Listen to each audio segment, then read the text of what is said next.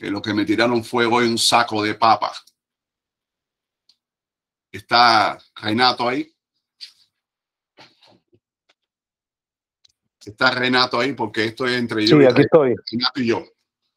Aquí estoy. Así que em, hay algo muy importante. Ustedes tienen que, tienen que, déjame ver si yo envié a Renato la vela de. Vamos a ver si yo pude. Me comí hoy el botonzo, pero pasa esas cosas. A veces pasa eso. No hicimos imágenes de la vela del día. No la hicimos, ¿verdad? No la hicimos, Renato. No, no. Bueno, para que ustedes tengan una idea, esta vela era negativa a cerró el mercado allá abajo, EMA, cin- EMA 20. Fue impresionante. Abrimos el día. Yo quiero que ustedes entiendan. Abrimos el día. Déjenme ver qué estoy haciendo aquí. Abrimos el día. Déjenme de... mm, Aquí algo, pantalla. Vamos a ver cómo abrimos el día. ¿Dónde está? ¿Dónde está? Copia. ¿Dónde está la mía? Mm. Déjenme eliminar esto, que hay información privada. Ahora hay que traer del otro lado. Mami. Estoy grabando. Vamos a ver. Aquí tenemos. Voy a traer cómo abrió el mercado hoy. Mm. ¿Cómo abrió el mercado hoy?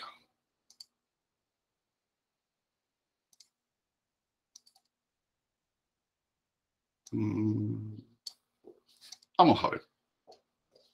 ¿Cómo abrió el mercado? Fue interesante la apertura. Realmente em, eh, te pedí que iniciara la, la caja aquella, darle prioridad para evitar que Alfredito vea dos cajas en la puerta, enorme. Así que esto fue lo que nosotros vimos hoy en el, en el mercado. Yo quiero que ustedes entiendan, estamos manteniendo una línea de, de fechas acá para poder tener un sentimiento muy rápido. Yo el sentimiento lo veo con las bandas, pero a veces los números ayudan, ayudan mucho. Em, hicimos un cálculo de lo que en el día, de lo que en el día íbamos a poder tener comparado con el viernes. Hay un cambio enorme, un cambio donde se reduce a la mitad los scalping, ¿ok? Pero duplica el swing para el day trade. Así que la decisión mía hoy en la apertura fue un day trade, nunca scalping. Nunca scalping. Yo quiero que ustedes comprendan. Nunca scalping. Esta es la lectura que yo estoy haciendo. Eh, Renato cometió un error porque el viernes estamos operando scalping porque es muy ventajoso y realmente el viernes hicimos mucha plata. Pero hoy entró él a hacer day trade desde la apertura. Oh, oh, hoy, hoy, hoy, hoy, Trujillo, No, no Trujillo está, Trujillo no está mirando la clase. Eso es lo que pasa. Trujillo no está mirando la clase. Eso es lo que pasa. Llevo hablando cuatro minutos y ustedes no viendo nada. Y Trujillo, que es la persona que debe supervisar lo que estamos haciendo. Es que No como dijiste que información personal, No, no, si ya yo estoy contando hace rato. no Ya yo estoy estaba señalando. contando, ya yo eliminé, ya yo monté, ya todo eso.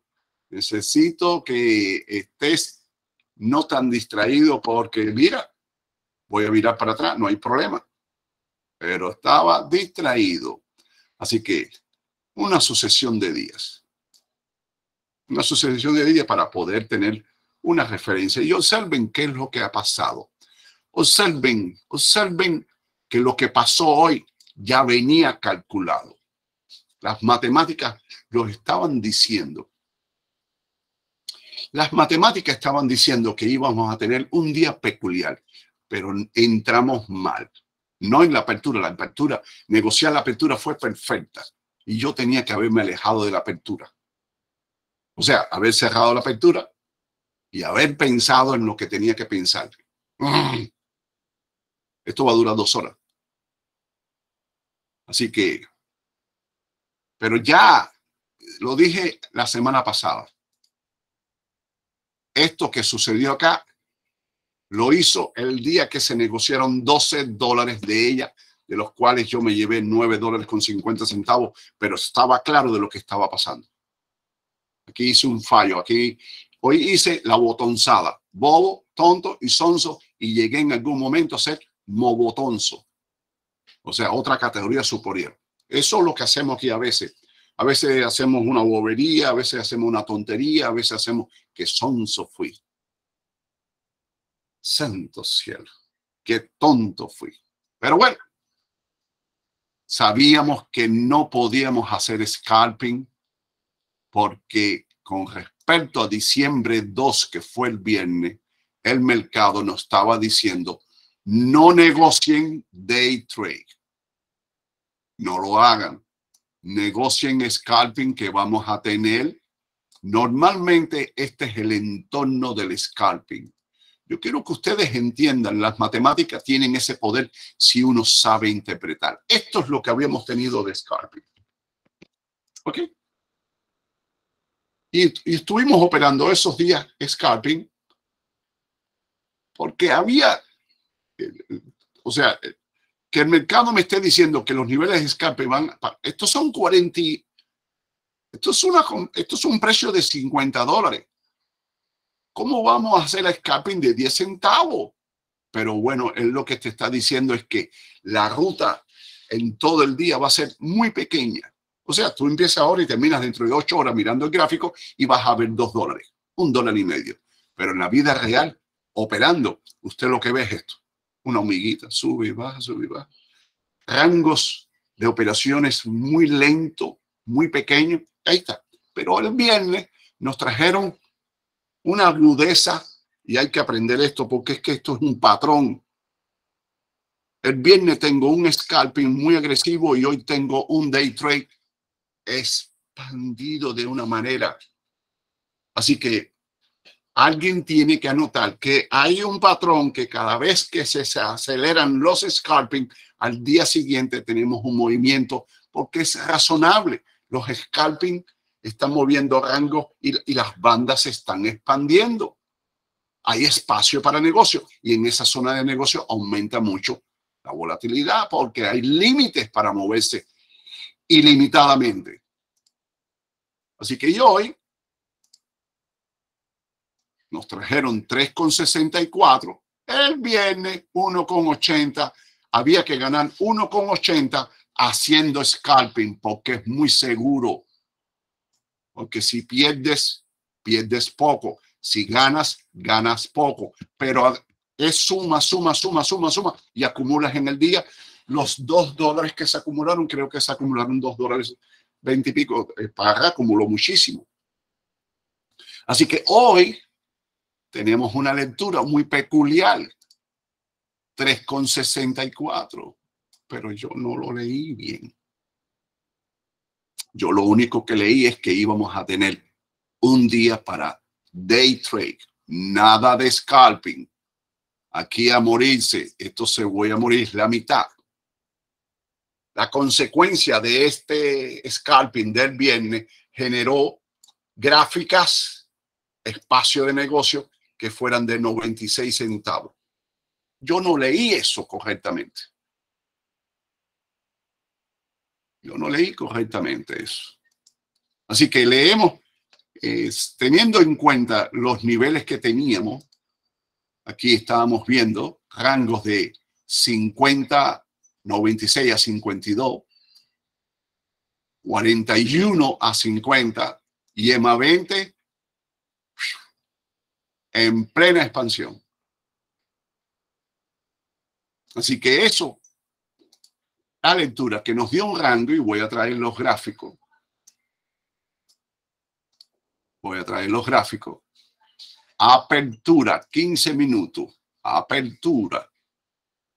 Apertura. 5 minutos. Apertura. Vamos a ver la apertura. Ahí está la apertura. Eso está. La apertura fue perfecta. Y les digo, negociar la apertura es lo más complejo que hay. Nadie gana en la apertura, muy pocos pierden, nadie sabe qué hacer. Y no fallamos la apertura.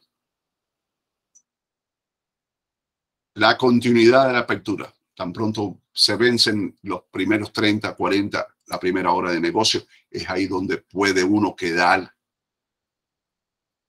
quedar como un botonzo. Así que esto es lo que pasó en la apertura. Yo doy instrucciones en la apertura que dice Day Trade 51.50. Mm. Así que digo, vender todo lo que esté por encima de 51.15. 51.15, 51.25, 51.35.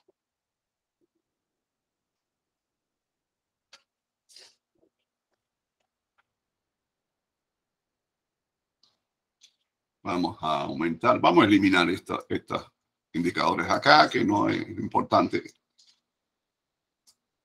Esto es lo que nosotros... Ahí está, observen los niveles. Los niveles. Esta es la apertura. Así que la apertura abre, hay una apertura, cae, un open gap down, un máximo, liquidación, y habíamos dicho, comprar por debajo de 50-50.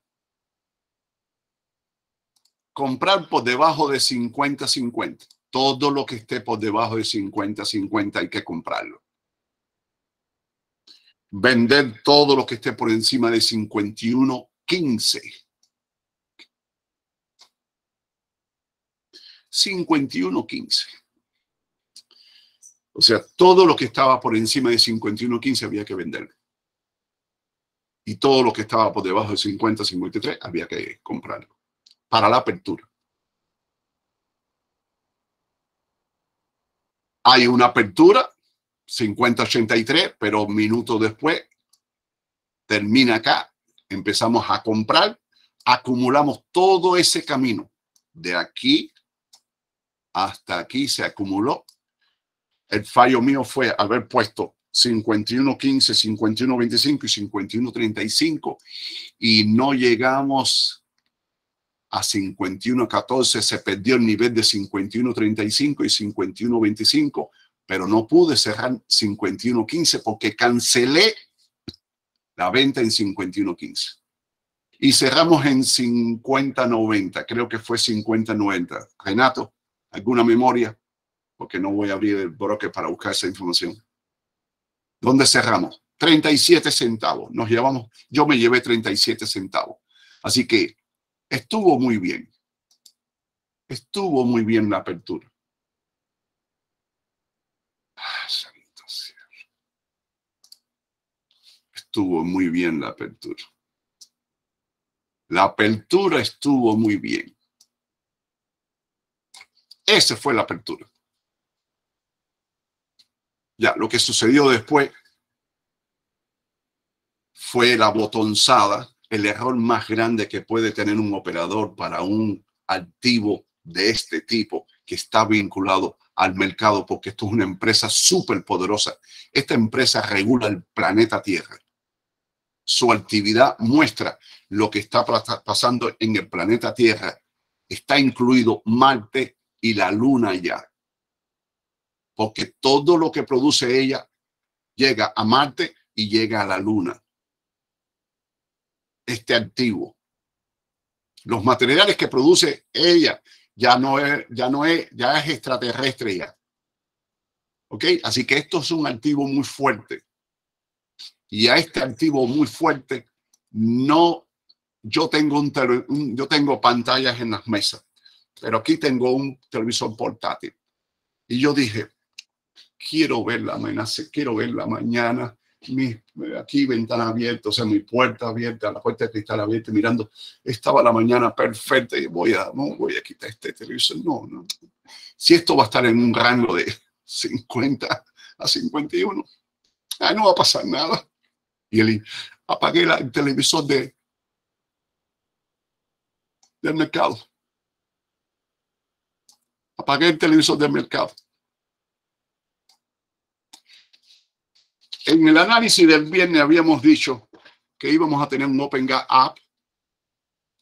No me interesan si los Open Gap Up o Down se producen, y mucho menos con 65 em, horas de diferencia. Pero habíamos dicho, Vela cerrará negativo. Vela mostrará los niveles del viernes.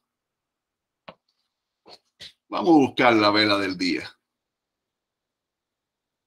Hasta hace unos minutos, hasta hace unos minutos antes de cerrar, era qué cosa. ¿Quién estaba, está Ortigosa conmigo ahí? Sí, profesor. Eh, Renato y Ortigosa, ¿cómo era la vela antes de que cerrara el mercado? Una Un mano desastre. Estaba en completo, una 20. completo. Hacía mucho tiempo yo no había visto un bloque como ese. Apertura y máximo en el mismo lugar.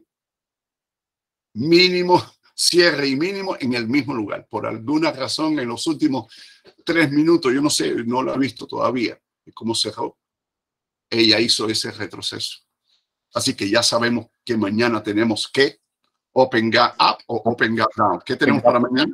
Open Gap App. No, no, no podemos dudar del Open Gap Up porque es que esto fue un bloque de 578 billones de dólares abajo y cerró con 482. Así que diciembre 6 tenemos Open Gap Up. ¿Ok? ¿Va a cerrar negativo o va a cerrar positivo? A ver, dígame. Positivo. Positivo. Hoy dijimos el viernes que iba a cerrar negativo y eso fue mi botonzada. ¿Cómo yo podía ver? Cuando ya yo me di cuenta que estaba en una caída libre, yo dije, y ya yo estaba cargado hasta los tomates. 29 mil dólares un swing negativo y yo comiéndome un botón. Ustedes saben que hay una historia del sapo. El sapo tiene un amigo que, que es un grillo. Es su mejor amigo, muy honesto. Eh, Pero el sapo siempre sufre mucho en la fotografía porque cada vez que se toma la foto, sale con esa boca grande. Todo el mundo se burla de ello, la novia, todo el mundo. ¿Ok? Porque la novia del sapo es una mariposa. ¿Ok? Así que el sapo va a ver al grillo para que lo ayudara, para que les le ayudara a salvar la situación esta, porque cada vez que se toma una foto, sale la boca del sapo. Y el grillo trabajando con una idea, cómo resolver estos problemas, el grillo le dice, bueno, cuando vayas a tomarte la foto, antes que te tomen la foto, di esta palabra mágica, botón. Y la boca del sapo queda así como una puntica. Y ya se resolvió. El sapo estaba muy contento. Cuando el sapo se llega al estudio de fotografía, se encuentra que se le había olvidado la palabra mágica. Y él empezó a reconstruir, a reconstruir. Yo sé que es algo, yo sé que es algo de costura. Y le dice al fotógrafo, ya estoy listo. Ojalá.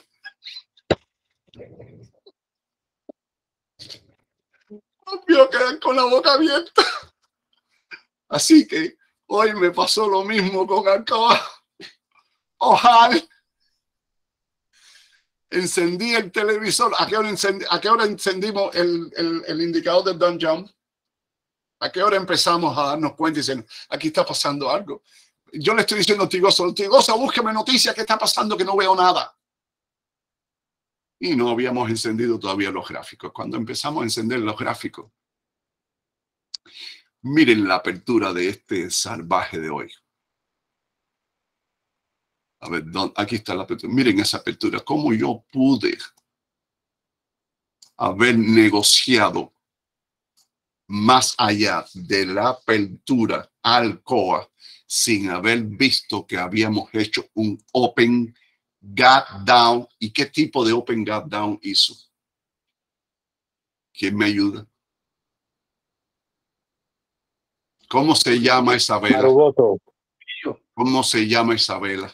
Vela Trujillo. Vela Trujillo. ¿Cómo yo fui capaz de no haber cerrado la posición con una pérdida invertido? Me tomó ya cuando ya llegué a un punto y decía que hay que salvar este negocio. Ya yo había, por, ya yo estaba por el séptimo escalamiento. El séptimo escalamiento. Porque me iba a mover en un pullback. Y ya, dije, no, aquí no se retira nadie. Tengo dinero, tengo capital. Bueno, para las dos de la tarde, mi broker me había llamado tres veces pidiendo plata porque estaba en un margin core. Así que, como se lo expliqué la semana pasada, la cuenta 07 tiene fondos capitalizados ahí y la cuenta 08 tiene fondos de operaciones. Estoy usando la cuenta 08 desde hace mucho tiempo porque jamás he cerrado un día con pérdida. Lo que más hago es mañana en un swing contra cortos y largos voy a acumular capital para hacer wash out, subir a donde están los niveles más altos de entrada, que son 50, 60, 50, 60, y llegamos a 46. No, no, una locura los 3 dólares 60 centavos del cálculo de la mañana. Y no me di cuenta. Fui un botonzo. No, esto fue crueldad animal. Así que saqué dinero de la cuenta 07 dos veces. Dos veces saqué dinero. Y yo tenía la opción de mantenerme en largo, pero con la característica de no ser escalamiento, porque le estoy diciendo a Renato y a, y a Otigosa, y cuando ustedes me vuelvan a oír decir eso, resuelvan decirme, profesor, vamos a darle tiempo a esto, porque le estoy enseñando la vela de hora, la vela de hora, voy a ver si trato, vela de hora, Vela de hora. Aquí está. Vela de hora. Santo cielo, una pesadilla. ¿Cómo es posible que estoy en esta parte del swing y yo seguía escalando? Cuando ustedes vean que la vela, si estoy en un day trade, la vela day trade del swing trade es vela de hora. ¿No es así? El day trade de, la vela de día no es hora. Bueno, ¿y por qué yo me adelanté? Y no, lo único, lo único que hubiera hecho, hubiera puesto un freno, no hubiera hecho más nada, hubiera esperado todo el swing completo. Y yo le decía a ellos, bueno, aquí vamos a estar tres horas más para las dos de la gastando plata. Miren qué nivel. Así que esto pasa que uno uno va en una sucesión de pensamientos erróneos, erróneos, erróneos. Tengo capital para enfrentar el swing, ¿ok? Ustedes tienen capital para enfrentar el swing de acuerdo al tamaño de la posición que están construyendo. Renato se expuso demasiado, entró muy cargado en una sucesión. Si yo tengo, yo tengo 45 veces más capital que Renato y mis entradas eran de 300 y Renato entró con 300. No. Para day trade uno construye el swing, acumula y cierra con la mayor ventaja y estábamos buscando 96 centavos para cerrar. Así que Renato, con ese capital, Renato tiene, eh, señores, eh, Renato, ¿puedo decir el monto acumulado que tú, hayas, que tú has negociado con Alcoa? Sí, no hay problema. Renato ha negociado en el, año, en el año 2022 45 millones de dólares en Alcoa. Renato. ¿Ok? Tiene que resolver la, la contabilidad de, de esa cuenta porque tiene una pérdida diferida de 1.690.000 dólares, señores. Eso es plata. Eso es hacer la contabilidad, hacer la auditoría y decirle, oye, me quitaste de la cuenta 1.690.000 dólares, a mí me han quitado dinero. Este e-trade es un espanto. Es un espanto. Así que, pero entró muy cargado para hacer un day trade. Tenía que haber entrado para el monto de capital que estaba teniendo y lo que pensábamos hacer, porque yo en ningún momento llegué a pensar que iba a acumular 11 mil acciones y me fui de 11 mil acciones y dupliqué 11 mil acciones. Así que estoy ahora en 25 mil acciones con Alcoa. Que le pido a Dios que ahora que estoy en 25 mil acciones yo le pueda sacar aunque sea un dólar a cada acción. va a ser difícil, pero bueno, va a ser, va a ser, va a ser fácil para, va a ser fácil para, para, para lo que están calculando que son 54 dólares. Y mi costo está ¿Recuerdas cuando te dije que volvíamos para 48.75? Sí. Ok. Lo recuerdas, ¿verdad? Lo recuerda Otigosa y. Correcto, Sí. ahí mismo estuvimos ahorita. Ahora les voy a enseñar. Les voy a enseñar lo que se negoció, lo que se negoció en el pre-market, en el aftermarket con ese nivel de 48.75 para que ustedes vean lo que significa poner, dejar una orden abierta para el aftermarket o antes que abra el mercado. El post-market, vamos a llamarle post-market, cuando no hay una cantidad, les voy a enseñar lo que pasó. Así que, Ah, La tocó. Y no, y, se negoci- negociaron, para dejar que ustedes vean lo que se negoció. Así que este fue el fallo.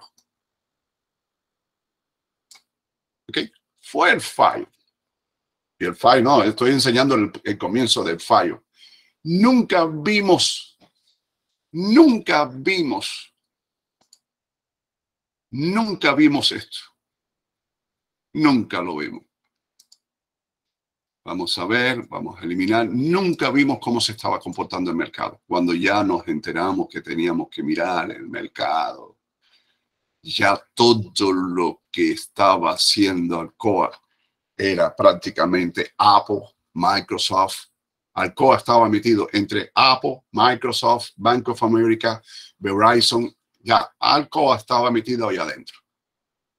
Como si fueran toda una familia. Se eh, el índice Don John se movía abajo y ella se movía. Esperen, esperen que voy con ustedes. Pero en ningún momento nos dimos cuenta de esto.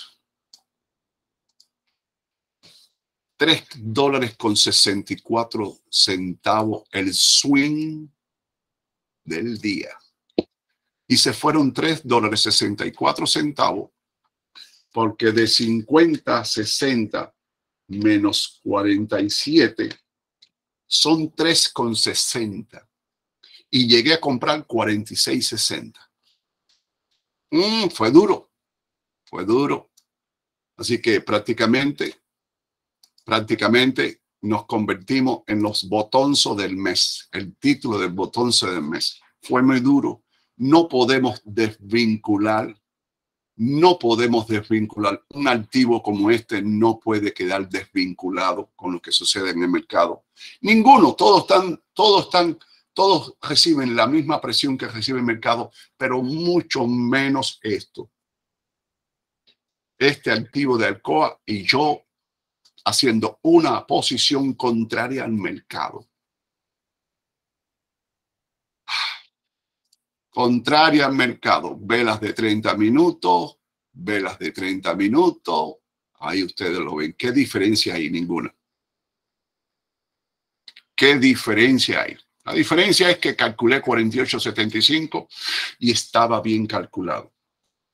Eh, calculé los niveles mínimos y máximos cada 30, 35, 45 minutos. Yo quiero que ustedes lo entiendan. Lo calculé con, con esta calculadora.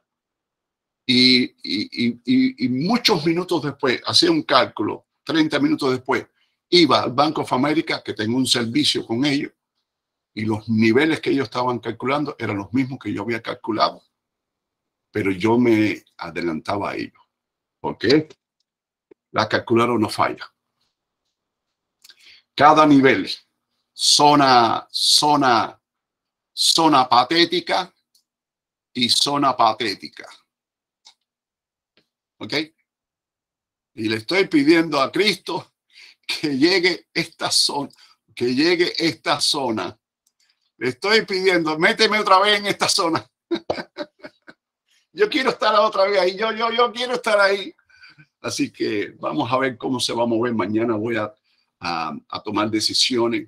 Voy a esperar la, que me confirme el broker las transacciones que hizo en el aftermarket.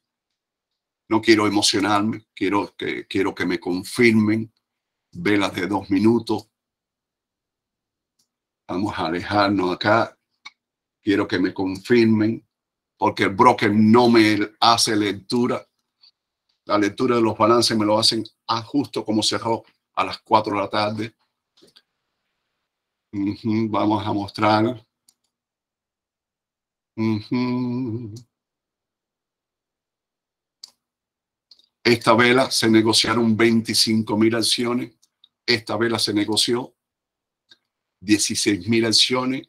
Ahora mañana hay que esperar que me confirman que se negoció ahí adentro que me pertenezca a mí. Porque la orden la puse contra quién, Renato. Si no me equivoco, fue 49 o 48, 48, 75. Correcto. Recuerda que puse, vamos a cerrar 48, 75. Ahí está la línea. Profe. Ahí está. 48, 75. Así que nunca se emocionen porque ya yo sé la cantidad que tengo descontado, pero hasta que no me confirmen mañana, no me hago la boca agua. ¿Qué significa cerrar 48.75? Cerrar 48.75 significa que en las instrucciones que le tengo yo dado al broker, yo quiero que ustedes comprendan, hay un bloque, vamos a buscar acá una gráfica más grande, yo quiero que ustedes, eh, porque esta es la unidad 27 que yo no quiero dar, no quiero dar unidad 27. Ya ustedes se dan cuenta que ahí cualquier nivel va a ser otra vez tocado, ¿verdad? Ya ustedes se dan cuenta. Ayer eh, decíamos que eh, los niveles, esta vela iba a buscar los mismos niveles del viernes. ¿Recuerdan eso? Y ella la desnudó completo. Así que mañana, la vela de mañana va a estar en los niveles, dentro del nivel de esta vela. No va a estar aquí, ni va a estar aquí. Va a estar vinculado a los niveles, porque los niveles que quedaron allá adentro van a volver a ser tomados porque el mercado siempre toma otra vez los niveles dentro del swing. Esa es la ley, es un fundamento técnico. Así que eh, mañana tengo que esperar la confirmación, qué cantidad me confirmaron. Ya yo tengo la cantidad acá, pero no me la refleja en el balance. Eh, ningún broker hace eso. No actualizan los balances después de las 4 de la tarde. No lo hace conmigo E-Trade. No sé quién lo hace después. No tengo idea. Eh, creo que TradeStation actualiza, no importa cualquier cosa que pase en el mercado. Eh, Así que para las 9 y 30 de la noche, el broker me debe mandar. ¿A qué hora te mandan la confirmación del portafolio, Renato? Mm, tendría que chequear mis emails, no estoy. Renato no sabe. Yo, estoy muy disgustado con Renato. Porque la cuenta, el broker, la casa de subasta ahí, trade, la tiene toda ahí apuntalada con, con, con palito, una monstruosidad a las 9 y 30 de la noche. Vamos a buscar acá mi confirmación del broker. E-Trade a las noviembre 30, vamos a ver. Vamos a ver a qué hora. A las 9 y un minuto de cada día, E-Trade me manda mi, mi portafolio. ¿Cómo quedó mi portafolio? Todos los días llega la información ahí. Pam, pam, pam. Y él no la mira. Y yo te voy a contar algo. Yo he tenido de un día para otro con E-Trade 100 mil, 120 mil dólares desaparecidos. Esos son errores típicos de ellos. Eh, E-Trade me publica para el 31 de enero mi 1099, mi balance completo. Y de ahí a julio yo he recibido hasta cuatro diferentes ajustes. O sea que yo, mi declaración de impuestos siempre está al día. En el punto que yo sepa que el gobierno me debe, yo puedo hacer la declaración de impuestos de E-Trade, por ejemplo. Yo hice ahora el ajuste 2019, 2020, 2021, hasta tres años. Si, le, si el gobierno, si tú sabes que el gobierno te debe dinero. Claro. Pero si tú, como yo hago pagos trimestrales, yo puedo darme el lujo de esperar julio, porque pasado abril usted tiene que pedir una extensión. Pero usted no hace pagos parciales de impuestos trimestrales. Yo hago parciales que están en torno entre 90 y 98 mil dólares por impuestos trimestrales. Y tú tienes operaciones acumuladas por 45 millones de dólares en Alcoa estas cosas te ponen. Ya tú le dijiste a, a TC 2000 que tú eres profesional. Correcto. Y a E-Trade también. Y ellos te mandaron el ajuste de, de la affidavit. Eh, TC 2000 me dijo que no, no había nada que hacer porque no era licenciado y E-Trade me hizo cambiar un, unos, unos puntos en, el, en la aplicación. Escúchame, TC 2000 te dio una respuesta porque tú lo que le dijiste fue totalmente equivocado. Yo quiero que tú entiendas. ¿Ok? La primera pregunta de los cuatro contratos que tú firmaste con ellos, la primera pregunta tú dijiste sí y ya tienes que decir que no. Si tú no sabes decirle a él en inglés, lo que ellos tienen que entender de lo que tú estás preocupado, usted puede ser sancionado y TC2000 puede ser sancionado. ¿Ok? Así que mañana temprano vuelvo a llamar. Necesito que le digas, mire, todos los affidavits que usted me mandó, la primera pregunta yo dije, sí. Y ahora es no. Usted le tiene que decir, con Alcoa solamente he negociado 45 millones de dólares. Así se lo tienes que decir. Correcto. Con Alcoa he negociado solamente con Alcoa 45 millones. No soy profesional, soy súper profesional. Así que tiene que enviarme los enlaces para en esa pregunta poner de sí a no. Y cambia, vas a pagar 90 dólares más por el servicio no, no, eso no es el problema, sino que ellos me dijeron que si solamente usaba el software o tenía un broker con TC2000, le dije que era el software que lo uso para, para las gráficas y me dijeron que no había que, decir TC2000, la pregunta número uno del affidavit del Amex, New York Exchange y Nasdaq, yo dije que sí, porque era correcto en el momento que lo llené pero ahora es no y he negociado con Alcoa, solamente Alcoa, 45 millones de dólares. Correcto. Mañana mismo lo llamo temprano. Ellos no te pueden enviar esa respuesta. Te enviaron esa respuesta porque no entendieron lo que tú le dijiste. Así que em, mañana, ¿qué tenemos? Vamos a ver el comportamiento del, de las velas. No hay nada aquí todavía. El mercado está sujeto a nuevas noticias económicas. Lo único que ha hecho el mercado es hacer un ajuste. Aquí tenemos el mercado. Hacer un ajuste. No importa, esto lo tiene que hacer el mercado. Habíamos considerado que íbamos a tener un Open Gap una apertura por encima del cierre, pero habíamos eh, dicho que no es posible, stop, no es posible que el mercado terminara positivo. Así que nosotros estábamos claros que la vela que venía era una vela rojita completa. Sabíamos lo, lo más importante de una lectura es cómo va a terminar la vela. Y nosotros la calculamos que iba a terminar negativamente. ¿Ok? Nosotros calculamos cómo iba a cerrar ella. Negativamente. No ha cambiado, no ha cambiado nada. Aquí nada más hay un, aquí nada más hay un solo concepto que arriesga la lectura temporalmente. Voy a eliminar las notas. ¿Alguien sabe qué es lo único que arriesga? Lo único que uno tiene que, que presentar como preocupación. ¿Cuál es la única preocupación ahí? ¿Qué es la única preocupación ahí? ¿Cuál es mi única preocupación ahí? La rotación de promedio. Mm, no, no tengo ninguna. Yo no tengo preocupación. ¿Cuál es la preocupación? Hay dos grandes preocupaciones. Una sustituye a la otra. EMA3 conectada claro. con resistencia. Pero no importa. Ella venía de resistencia. No importa. Eso es todo lo único.